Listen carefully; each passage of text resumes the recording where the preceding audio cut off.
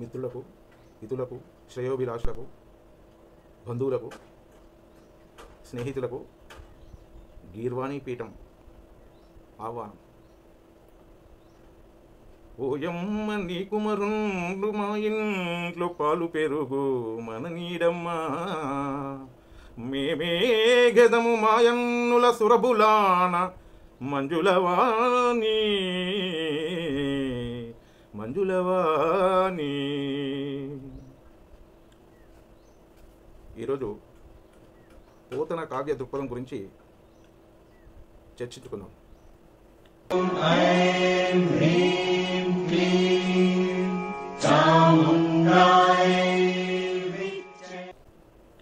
పోతన భాగవతారికలో తాను ఉభయ కావ్యకరణ దక్షుడనంటూ తిక్కలను అనుకరిస్తూ కావ్యానికి సంబంధించిన మౌలికాంశాలు మూడు ప్రస్తావించడం జరిగింది.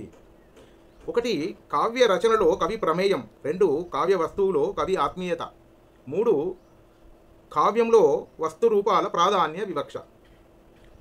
పలికెడిది భాగవతమట పలికించువిభుండు రామభద్రుండట అన్నాడు పోతన.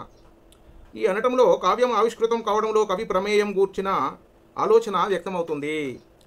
అచ్చమైన మహాకవి ఇతర విషయాల్లో సామాన్యుడే. ఆయన వ్యక్తిత్వం ఆయనదే కానీ కావ్య రచనాపరాయణుడైన సందర్భంలో అంటే కావ్య రచన సాగుతున్న సందర్భంలో మాత్రం ఇతరులందరికన్నా అత్యున్నత స్థానంలో ఉంటాడు బమ్మెర పొత్తనామాత్యుడు ఆ స్థితిలో ఆ కవి వైయక్తిక చైతన్యం విశ్వ చైతన్యంతో సంయోగం పొందుతుంది. అందులో విలీనమవుతుంది. అందుకే అతను ప్రజాకవిగా పామర కవిగా ఒక వెలుగు వెలగడం జరిగింది. శ్రీనాథ మహాకవి పండిత కవి. పోతన మహాశయుడు పామర కవి అని ప్రసిద్ధికి ఎక్కడం జరిగింది. ఈ విధంగా గమనిస్తే ఆ రచనతో కవి వ్యక్తిత్వానికి ప్రమేయం లేదు. ఆ కవి ఆ కావ్యాన్ని తాను రచించాలనటం కేవలం ఔపచారికం లేదా సామాన్య వ్యవహారార్థం మాత్రమే. నిజానికి ఆ రచన వెలువడడానికి ఆ కవి ఒక ఉపకరణం విశ్వ చైతన్యం. ఈ కవి ద్వారా ఆ కావ్యాన్ని వెలువరించడం జరిగింది. పోతన కావ్యావిర్భావాన్ని ఆ విధంగా భావించాడు. అందుకే పలికెడిది భాగవతమట పలికించు విభుండు రామభద్రుండట. అన్నాడు. ఇక్కడ రామభద్రుడు విశ్వ చైతన్యానికి ప్రతీక. కవి తన వ్యక్తిత్వ చైతన్యాన్ని దాని పరిమితులను అధిగమించి విశ్వ చైతన్యంతో విలీనం చేసుకోగలిగి ఉన్నప్పుడే ఈ విధమైన స్థితి సిద్ధిస్తుంది. మరి అందుకు వ్యక్తిగా కవి ఎంతో సాధన ప్రయత్నం చేయవలసి ఉంటుంది. జ్ఞాన విజ్ఞాన సమగ్రావగాహన కావలసి ఉంటుంది. ఈ ప్రయత్నం అంతా ఒక తపస్సు. అదే పోతన పుట్టినిల్లు ఓరుగల్లు యొక్క స్కిల్లుగా మనం చెప్పుకునే అవకాశం ఉన్నది. కావ్యావిర్భావానికి ఉపకరణంగా విశ్వ చైతన్యానికి ఉపయోగపడే అర్హతను కవి సంపాదించవలసి ఉంటుందనే అంశాన్ని కూడా పోతన ఇక్కడ సూచించడం జరిగింది. ఇది మనం గమనించాలి. ఈ అర్హత భాష మీద మొదలుకొని కావ్య రచనా సంబంధి సర్వాంశాలను సాధించగలగడం గుణంగా అందరూ మెచ్చుకునే విధంగా ప్రయోగిస్తాను అని చెప్పడం జరిగింది భాగవతంలో. ఈ భాషా విషయం తదితర అంశాలన్నింటికీ సూచకం. వివిధ వరుల వలన విన్నంత కన్నంత తెలియవచ్చినంత తేట షరతు అని భాగవతంలో మనకు స్పష్టీకరించడం జరిగింది. విన్నంత కన్నంత తెలియవచ్చన్నంతనే అనే మూడంశాలు క్రమంగా జ్ఞాన విజ్ఞాన సంపాదనం అని మనం గమనించాలి. దాని అవగాహన అనుభవం అన్నిటి అన్న వాటిని సూచించడం జరుగుతుంది. ఇవన్నీ అర్హత సంపాదకమైన అంశాలే. ఇట్లాంటి అర్హత సంపాదించుకున్న కవి ఉన్నత స్థాయిలో పొందిన భావప్రా భావప్రాప్తి భావదీప్తి అతను సంపాదించుకున్న అర్హతతో సమ్మేళన సమ్మేళనం పొందినప్పుడు సహృదయులకు కావ్యం వ్యక్తమవుతుంది ఆవ్యక్తమవుతుంది. కవి ఏ స్థాయిలో అంటే విశ్వ చైతన్య స్థాయిలో దాని సమీప స్థాయిలో లేదా సామాన్య స్థాయిలో ఉన్నప్పుడు కావ్య రచన సాగిందనేది కావ్య విమర్శలో గమనించవలసిన అంశంగా పోతన ఉద్దేశించినట్లు మనము భావించవలసి ఉంటుంది. కావ్య వస్తువు ఆత్మీయత.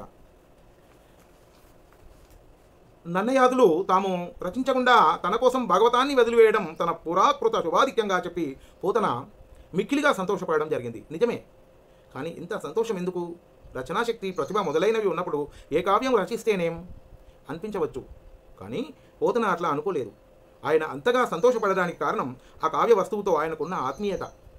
ఆత్మ సంవాదం పోతన పై విధంగా అన్నాడంటే కవికి కావ్య వస్తువుతో ఆత్మీయత ఉండాలని భావిస్తున్నట్లు మనకు ఇక్కడ స్పష్టపడుతుంది. కావ్య వస్తువుతో కవికి ఆత్మీయత లేకపోతే ఆ కావ్యం పాఠకులకు తన్మయీ భావం కలిగించడంలో వెనుకబడిపోయే అవకాశం ఉంది అందువల్ల కావ్య వస్తువుతో కవి గల ఆత్మ సంవాదం కూడా కావ్య వివేచనలో గమనింపదగిన అంశంగా మనం ఇక్కడ గమనించాలి. వస్తువు కావ్య రూపం. కావ్యంలో వస్తువుకున్న స్థానం ఏమిటి విధానానికి ఉన్న స్థానం ఏమిటి దేనికి ప్రాధాన్యం అనే అంశాలను కూడా పోతన చక్కగా వివరించడం జరిగింది. విచారణ ఫలితాన్ని వ్యాసునితో నారదుని మాటలుగా వ్యక్తీకరించడం జరిగింది. నారదుడు ఈ విధంగా అంటాడు. ఏమంటాడే అంటే హరినామ స్థుతి సేయు కావ్యము సువార్ణాం భోజ హంసావలి సురుచిత్ బ్రాజితమైన మానస పరస్ఫూర్తిన్ విడంబించు శ్రీహరినామస్తుతి లేని కావ్యము విచిత్రార్థిన్వితం వయ్యు శ్రీకరమై ఉండదు అని భాగవతంలో ప్రవచించడం జరిగింది. ఇక్కడ హరినామస్తుతి అనేది కావ్య వస్తువు ఈ వస్తువు ఉదాత్తమైంది. ఇట్లాంటి వస్తువు ఉన్నప్పుడు కావ్యం బంగారు తామరలతో అంశల సమూహములతో ఆ సమూహ కాంతితో ప్రకాశించే మానస సరస్సు మాదిరిగా చాలా దివ్యంగా మనోహరంగా అందంగా ఉంటుంది. మరి ఇట్లాంటి వస్తువు లేని కావ్యం ఎంతెంతగా విచిత్రమైన అర్థాలతో తదితరమైన కావ్య సామగ్రితో సమన్వితమైన శ్రీకరం శోభాకరం మంగళకరం కాదు. హరినామస్తుతి అన్న వస్తువు పరంగా పోతన సోదాహరణంగా చెప్పిన ఈ అంశం కావ్యంలో వస్తువు ప్రాధాన్యాన్ని వ్యక్తీకరిస్తుంది. గుణాలంకారాది రూపమైన కావ్య సామగ్రిని ఎంతగా కుపించినా అసలు కావ్య వస్తువు ఉదాత్తం కానప్పుడు వీటిలో దేనివల్ల ప్రయోజనం లేదు? అయితే కేవలం వస్తువు ఉదాత్తమైనంత మాత్రాన సరిపోదు. కేవలం వస్తువును ఎప్పుడు కావ్యం కాదు. వస్తువు కావ్య సామగ్రితో కావ్యంగా తీర్చబడుతుంది. వస్తువు ఉదాత్తం కానప్పుడు ఎంత తీర్చిదిద్దినా అది శ్రమాపాదకమే తప్ప సఫలం కాదు. కావ్య విమర్శలో వస్తువు ఉదాత్తత్వం కూడా పరిశీలించవలసిన ప్రధాన అంశంగా పోతన గారు భావించడం జరిగింది. కావ్య వస్తువు ఉదాత్తత కవికి ఆ వస్తువుతో ఆత్మీయత కవి సాధించిన కావ్య సామగ్రీపరమైన అర్హత కావ్య స్థాయి అనే అంశాలు కావ్య వివేచనలో పోతన దృక్పథంలో ప్రాధాన్యం వహించడం జరిగింది. ఇంతటి విచారణకు తట్టుకొని నిలిచిన కావ్యం వల్ల ప్రయోజనం నన్నయ్య తిక్కనలు భావించినట్లు పోతను కూడా జగద్దితంగానే నిర్ధారించడం జరిగింది.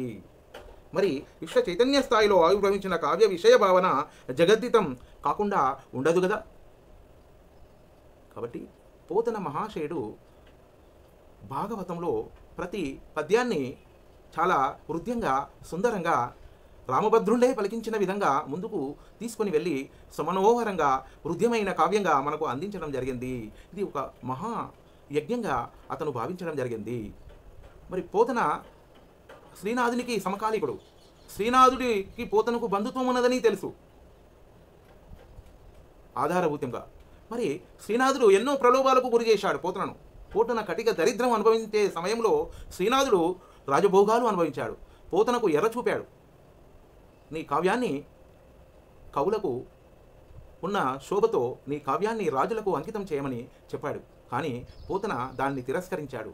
నా కావ్యం నా భాగవతం శ్రీరామభద్రునికే అంకితం అని చాలా వినమ్రంగా విన్నవించుకున్నాడు శ్రీనాథునికి పోతన.